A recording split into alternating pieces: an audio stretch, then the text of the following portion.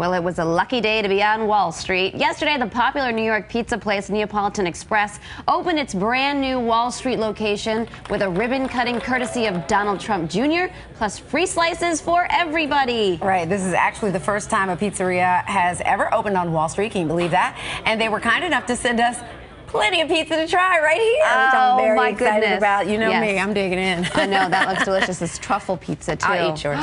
On tomorrow's show, part two of Ben and Daisy's big prom proposal. Find out what Holden says and some cool new places to eat on the Upper West Side. I'm going to try has this truffles on it. This is delicious. Plus, star of the longest ride, Oscar-nominated New Yorker Alan Alda is going to be here in Doggies for Adoption in our weekly pet project. Enjoy the rest of your day. We are eating pizza. If you're in the area, the truck is also outside 30 Rock. Yeah, oh they're my God, all around the city. Go to their website too. and you can find the truck. Yes.